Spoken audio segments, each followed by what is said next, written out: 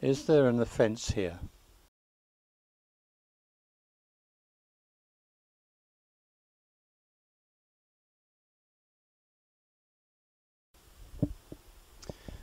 Does the attacker here move to position between the defender and the ball to prevent the defender playing at the ball?